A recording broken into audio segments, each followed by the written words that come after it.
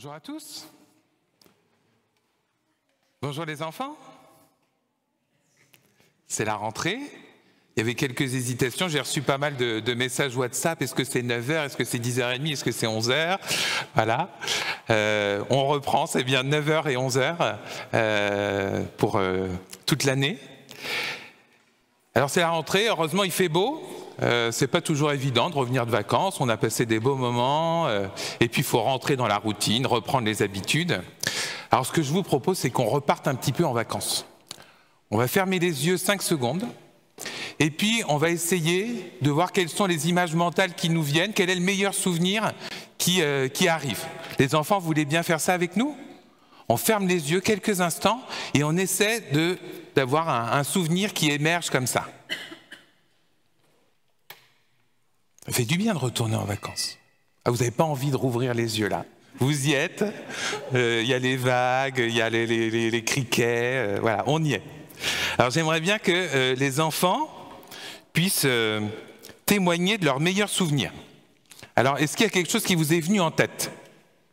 Ouais, viens. Que tu veux faire depuis ta place, vas-y.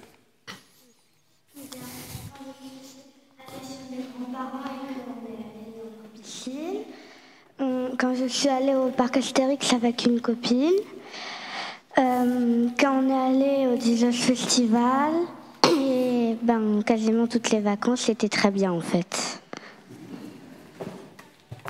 Est-ce qu'il y a d'autres souvenirs? Euh, Quand j'ai fait du mini-golf et aussi euh, j'ai fait une soirée pyjama.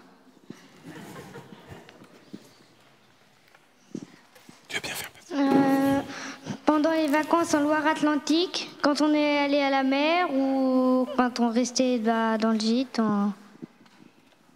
dehors et tout, Là, on a un autre bon souvenir. Euh, quand je me suis baignée dans la mer, quand euh, je voyais la mer euh, de mon balcon, toutes les vacances. Est-ce qu'on a un autre souvenir? Bah, Moi, ce qui m'est venu en tête, c'était des éclaboussures. Euh, on était sur le canal du Midi en canoë. Et puis quand il y a plusieurs familles, immanquablement, on commence avec les, pagaies à s'envoyer de l'eau comme ça. Et puis ça commence à tanguer. Et ben, j'ai sauté sur le sur l'autre canoë et ils se sont retournés, se sont retrouvés à l'eau et puis après euh, ils sont venus, ils ont piraté aussi mon canoë. Voilà, donc c'était un, beau moment euh, mouillé, mais euh, mais un chouette moment. Tu voulais dire quelque chose, chérie?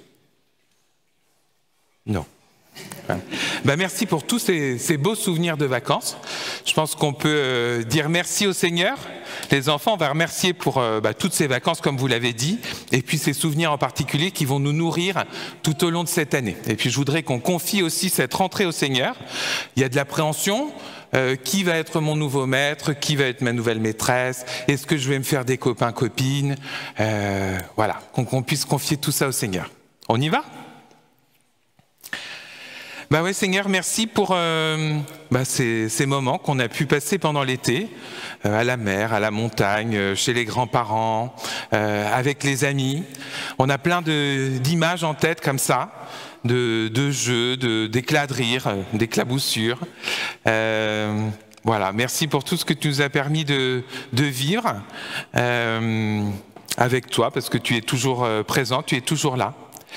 Nous voulons, aussi euh, bah, te confier euh, les enfants en cette rentrée que tu puisses euh, leur donner la paix, la sérénité au moment où s'engage une nouvelle année scolaire, qu'ils soient bah, toujours comblés de toi, peu importe où ils se trouvent.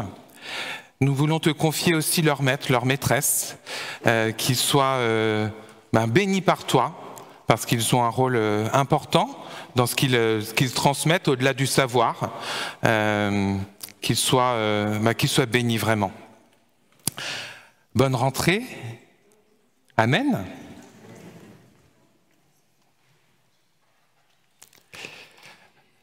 Voilà, bah, c'est ma rentrée aussi. officiellement, à partir d'aujourd'hui, je suis votre pasteur. Merci Bénédicte.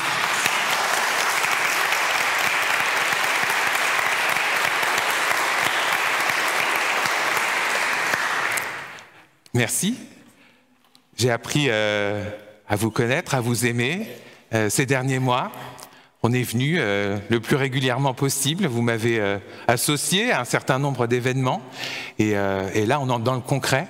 Donc vraiment, je me, je me réjouis et je veux vraiment entrer en intimité avec chacune, chacun d'entre vous. Je saisirai chaque opportunité pour vous entendre, pour euh, partager des bons moments, pour partager des, moments plus tristes.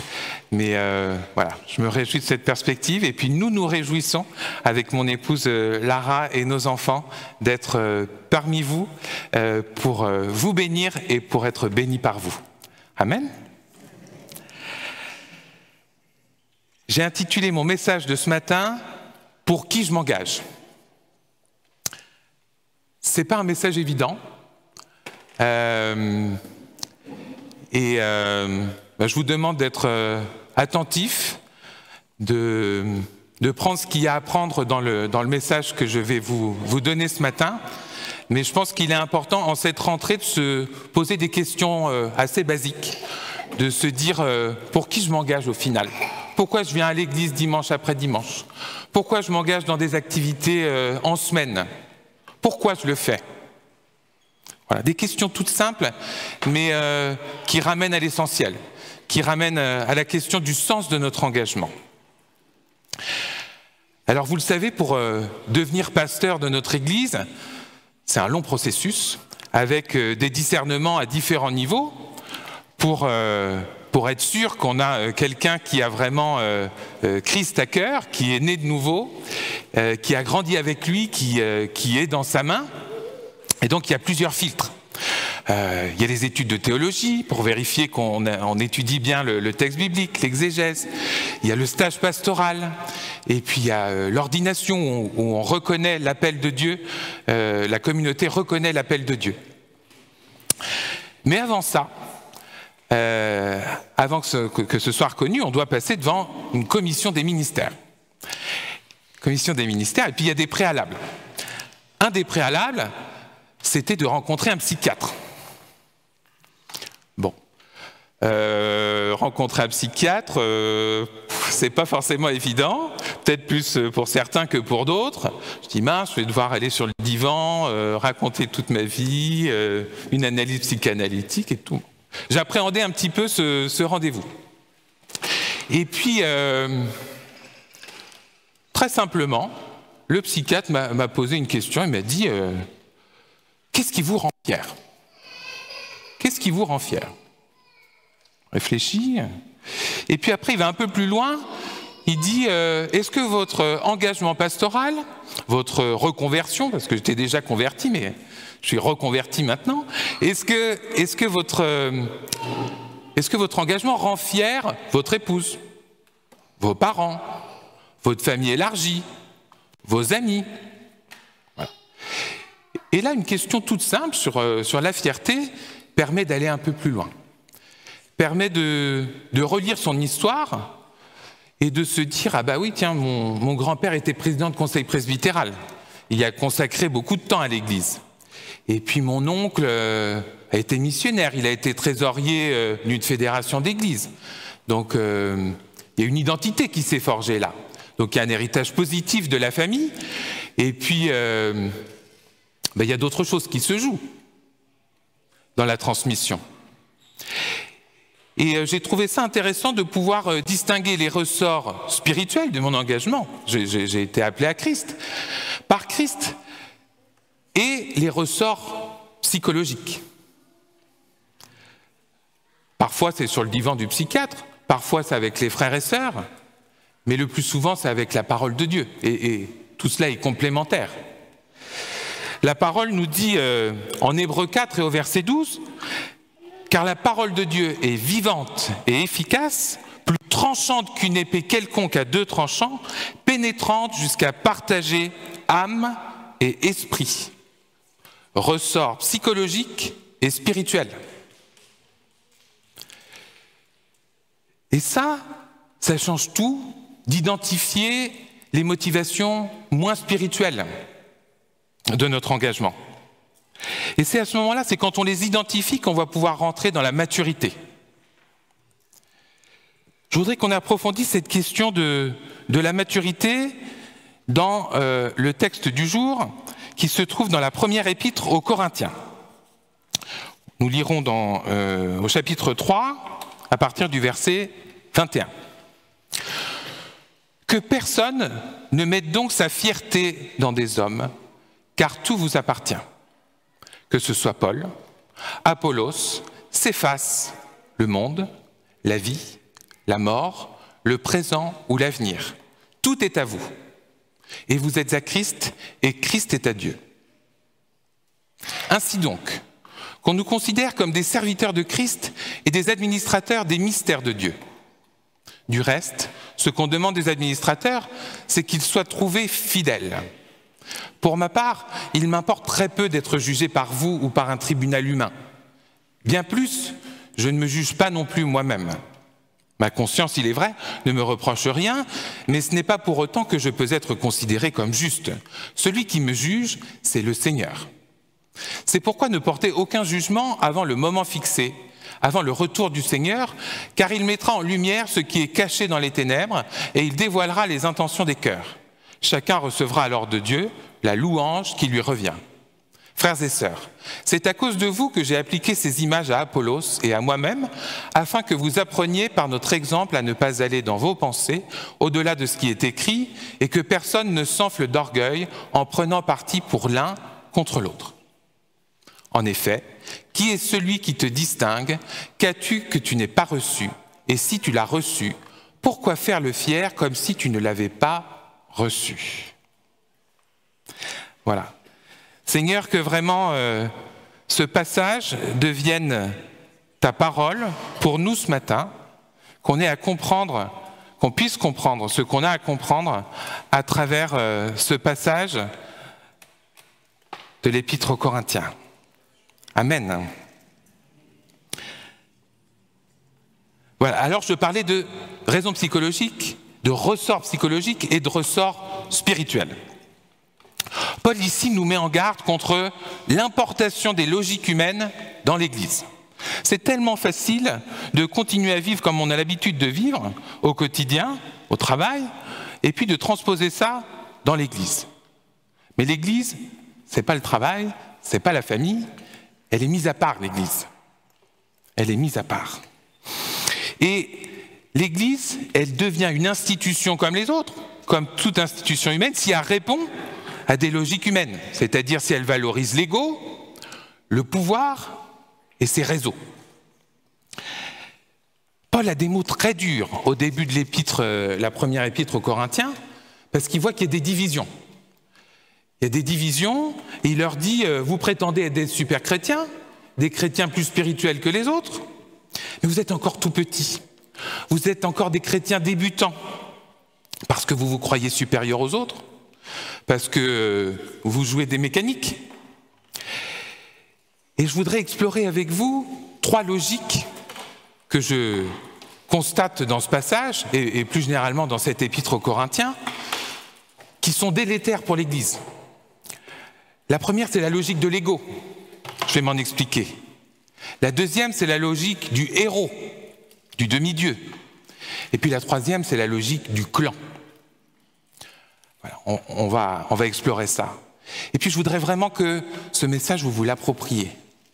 Et donc que vous disiez ce matin, oui c'est bien, c'est logique, euh, mais qu'est-ce qu'il y a en moi de corinthien? Qu'est-ce qu'il y a en moi de chrétien immature, de chrétien tout petit? Qu'est-ce qui doit grandir en moi, dans mon âme, parce que je me confie en l'Esprit du Seigneur qui vient remplir mon esprit alors la logique de l'ego. La logique de l'ego, on voit depuis le début Paul dans cet épître qui dit moi je suis à Paul, moi je suis à Apollos, moi je suis à Céphas, moi je suis à Christ. Moi, moi, moi, moi. Et l'Église, très rapidement, peut devenir cet endroit pour euh, ce repère, pour égaux euh, surdimensionnés, ou au contraire un refuge pour des égaux tout rabougris. Et les deux sont complémentaires. On a besoin les uns des autres dans cette logique. L'ego surdimensionné brille auprès des égaux rabougris, et puis les égaux rabougris se sentent valorisés parce qu'ils côtoient des gens qui, euh, bah, qui sont bien dans leur peau, euh, qui sont fiers, orgueilleux, et donc tout le monde y trouve son compte. Tout le monde y trouve son compte. Pourquoi? Parce qu'on a tous en nous ce besoin de reconnaissance. On a besoin d'être reconnus pour qui nous sommes. Souvent, il y a eu quelque chose qui a été euh, altéré dans ce besoin de reconnaissance. Notre Père, qui est celui qui nous reconnaît au moment où nous naissons, mais qui est là aussi pour nous confirmer dans notre identité à l'adolescence. La mère joue un rôle non négligeable, mais la reconnaissance, c'est d'abord le Père. Eh bien, si ça n'a pas marché, on va quémander cette reconnaissance partout où nous sommes. Partout partout, partout. Auprès des camarades de classe, auprès des maîtres d'école, auprès du supérieur hiérarchique, auprès de n'importe qui. On va quémander comme ça. Et euh, bah, ça nous rend esclaves. Ça nous rend esclaves parce qu'on va chercher des confirmations partout. On n'est pas libre de vivre la vie qu'on devrait vivre, puisqu'on a besoin de se rassurer sur notre ego. Et alors comment on va faire ça? Ben, On développe euh, plein de stratégies. Mais en général, c'est la stratégie du faire. Je vais faire ça. Si je fais ça, euh, je vais être euh, honoré, on va être fier de moi. Mais comme ça ne suffit pas, il va falloir faire plus et toujours plus. Si j'en fais un peu plus que les autres, je serai, je serai plus apprécié que les autres. Et puis faire plaisir aussi. Si je fais plaisir à mon supérieur hiérarchique, si je fais plaisir à telle personne dont je reconnais l'autorité, et là, je vais combler ce besoin. C'est humain, c'est normal. Mais c'est sans fin. C'est sans fin et on ne va pas goûter à la joie de l'être, on va rester dans la logique du faire. Et puis si on ne cherche pas l'approbation à tout prix, on va pouvoir aussi, euh, au contraire, prendre le contre-pied, s'auto-saboter.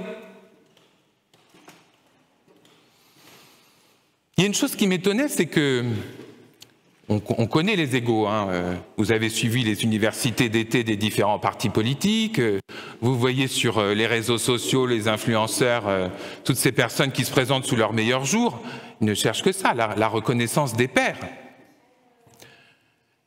Mais en Église, je ne comprenais pas pourquoi des gens qui ont des fonctions éminentes dans la vie, des titres, des diplômes, des galons, pourquoi il fallait que cette logique soit transposé dans l'Église. En réalité, l'ego, il n'a jamais assez de place. Il est toujours à l'étroit. Et donc, bah, quand il commence à montrer des muscles à un endroit, bah, il montre ses muscles partout. Il montre ses muscles partout. Et je voudrais qu'on se demande, euh, en cette rentrée, au moment où euh, les activités d'église reprennent, pourquoi je m'engage?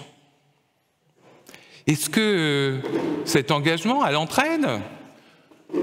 Est-ce que cet engagement sur le devant de la scène, à la prédication, à la louange? Est-ce que c'est pour euh, combler une blessure narcissique? Est-ce que c'est pour être reconnu par mes frères et sœurs? Ou est-ce que c'est vraiment pour le Seigneur? Il peut y avoir un peu des deux, hein mais la proportion varie. 80-20, 70-30, 60-40. On ne sait pas lequel prend le dessus. Mais le Seigneur nous appelle à sanctifier notre engagement, à soumettre notre ego. Ça peut être ça pour les égos surdimensionnés, mais ça peut aussi être une forme de passivité. Je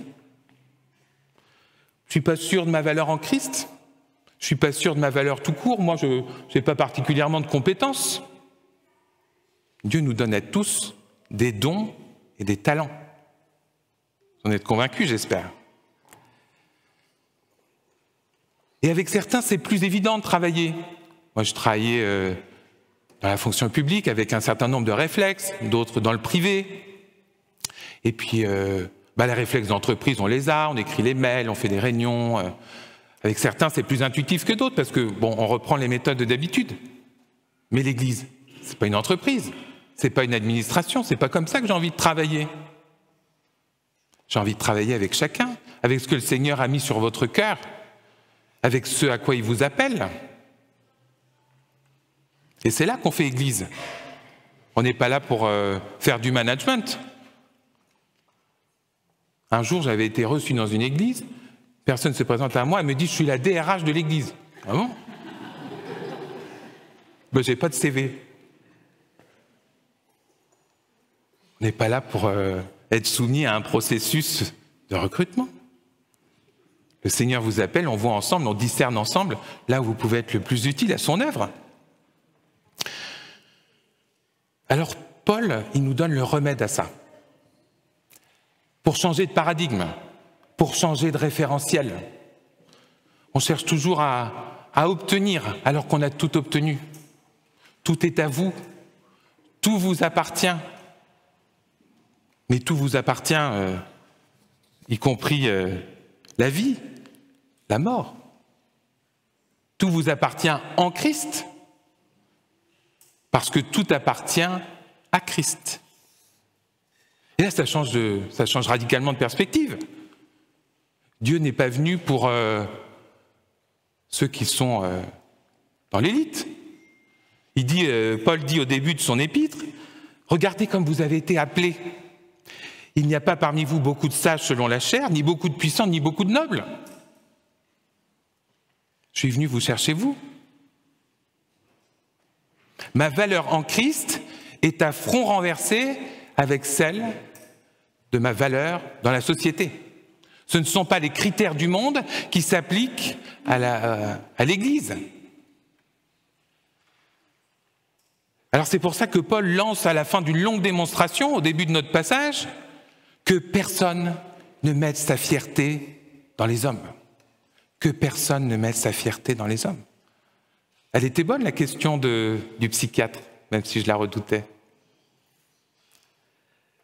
C'est libérateur de ne plus dépendre du regard des autres. C'est libérateur de ne plus chercher l'approbation de son père, de ses parents, de ses grands-parents, de son supérieur hiérarchique. Ça fait un bien fou. J'ai été dans cette logique tellement longtemps. Dans tes études, tu auras des bons résultats, tu seras approuvé. Au travail, tu grimperas les échelles, euh, tu grimperas l'échelle à telle vitesse et tu seras approuvé. C'est faux, c'est un mensonge. Ma valeur, elle est en Christ. Et Paul le dit parce qu'il l'applique pour lui-même.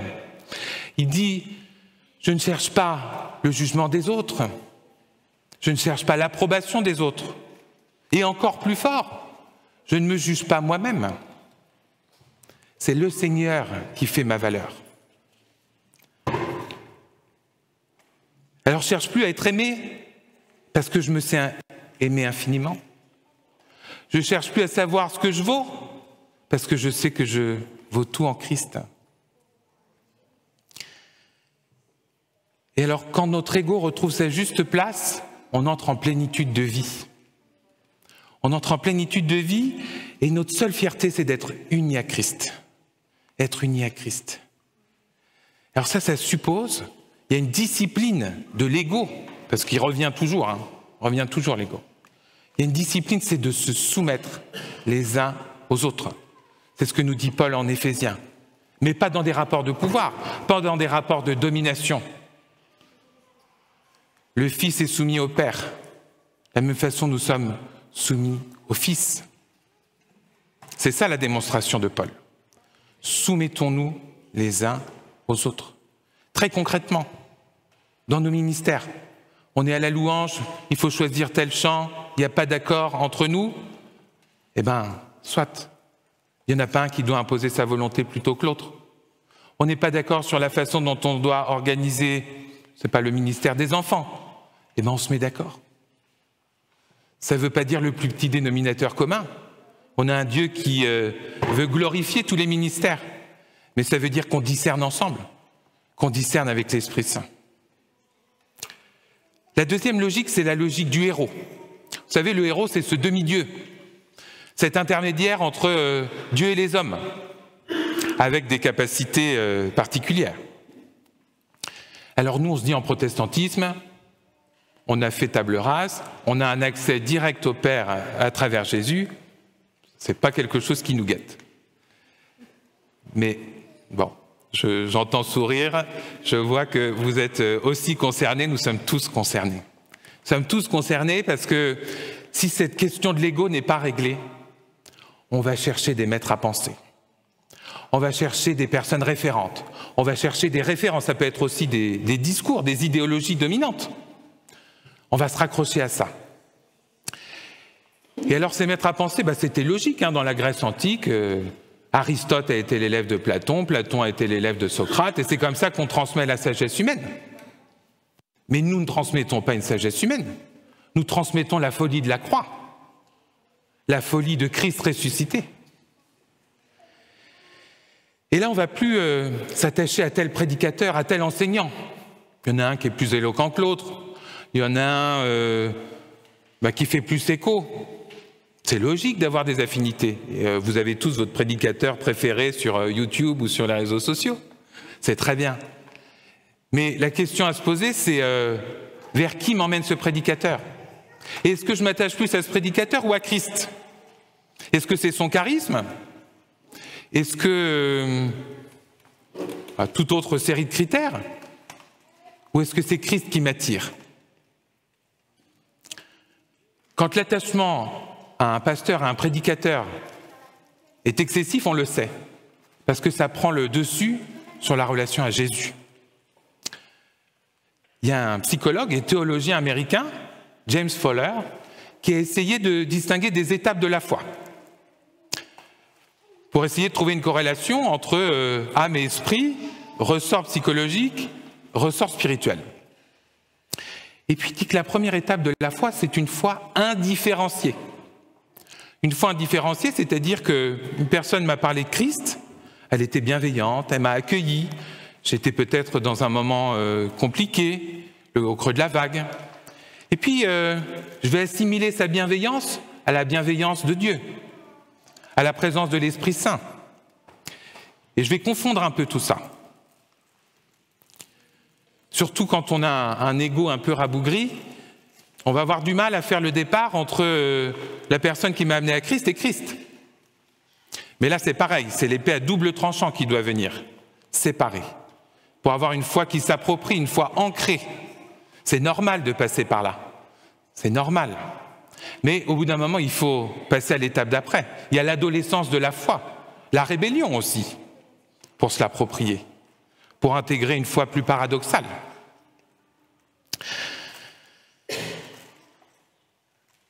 J'insiste un peu sur cette étape de la foi indifférenciée parce qu'elle peut conduire à des abus spirituels. Elle peut conduire à des dérives. Et on doit être vigilant. On doit être vigilant euh, en tant que pasteur, en tant que berger, mais c'est l'autorité de chacun qui est en jeu. Hein. Vous avez une autorité en Christ et il faut s'en saisir. Alors Paul y présente un renversement de perspective. Ce qu'il nous dit en somme, c'est euh, ne vous soumettez pas plus à l'un qu'à l'autre. Soumettez-vous uniquement au Christ. Et puis la dernière logique, c'est la logique du clan.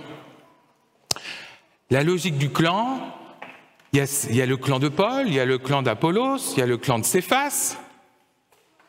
C'est malgré eux que ces dynamiques se sont mises en œuvre. Certains ont été baptisés euh, par Paul, d'autres ont été enseignés par Apollos, D'autres ont reçu une théologie légèrement différente ou une ecclésiologie légèrement différente avec Pierre. Mais c'est nous qui avons cette logique clanique, qui euh, préférons constituer des, petits cercles. Alors, il y a des groupes d'études et de prières, hein, c'est très bien. Hein. Les, petits groupes, c'est euh, une logique du Christ. Hein. Il a eu son, son groupe de disciples, et puis il y a eu des cercles concentriques. Mais pourquoi on constitue ces cercles? Est-ce que c'est pour le service? Est-ce que c'est pour aller vers le monde? Ou c'est pour rester entre nous? Alors la logique du clan, pour un dirigeant, C'est une logique euh, facile. Il suffit d'avoir euh, un cercle rapproché, quelques personnes de confiance, un projet et on fonce. Mais la logique du clan n'est pas la logique de l'Église. La logique de l'Église, c'est la logique du corps. On va faire corps ensemble. Il n'y a pas des grands, il n'y a pas des petits. Il n'y a pas les sachants et ceux qui ne savent pas encore. Et c'est parce qu'on va être ensemble, le corps du Christ, pierre vivante, à ne plus chercher notre valeur, à ne plus chercher le pouvoir, à ne plus chercher euh, à jouer euh, des coudes, qu'on va rentrer dans la plénitude de ce que le Christ, de ce que l'Esprit a nous proposé pour l'Église. On n'est plus dans la logique du faire, on est dans la logique de l'être. On entre dans sa présence. Alors ça prend du temps. Ça prend du temps et c'est pas évident. Parce qu'on est tous différents, ça frotte. Il y a des conflits, il y a des divisions, il y a des rancœurs du passé, il y a de l'amertume. Et ce serait plus facile de tout mettre sous le tapis. Mais non. Le Christ veut assainir notre Église. Donc je veux prendre ce temps. Je veux prendre ce temps de la confrontation. Je veux prendre ce temps de la rencontre avec chacun, que la voix de chacun soit entendue, que chacun ait sa place dans cette communauté. Je n'ai pas envie d'avoir euh, ce cercle rapproché et on fonce sur un projet. Je veux que ce soit lui qui nous inspire ces projets. Ça ne sera pas évident. J'aurai besoin de vos prières, j'aurai besoin de l'aide de l'Esprit Saint. Et euh, ce que dit Paul sur les serviteurs de Dieu, sur les intendants des mystères de Dieu, des vérités cachées, je me l'approprie. Je me l'approprie ce matin. Je ne vais pas chercher à être euh, aimé, à être apprécié par vous en premier lieu. J'ai envie d'être votre ami, j'ai envie d'être le plus proche de vous que cela est possible. Mais ce n'est pas mon objectif premier. Je, ne chercherai pas à vous faire plaisir, à flatter euh, nos penchants naturels, nos logiques humaines. Je m'inscrire en faux contre ça. Je ne suis pas là pour vous reconnaître.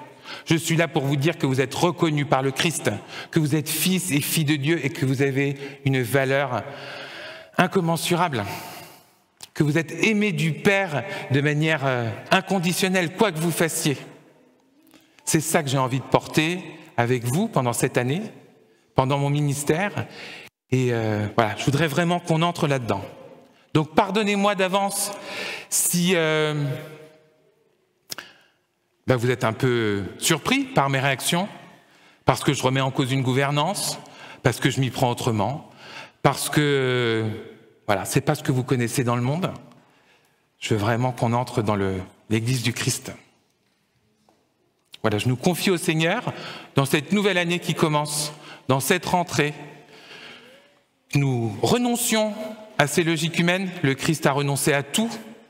Nous, à sa suite, nous devons renoncer à cela, renoncer à notre ego, renoncer au pouvoir, renoncer à ces fausses amitiés pour entrer dans le projet du Père. Amen.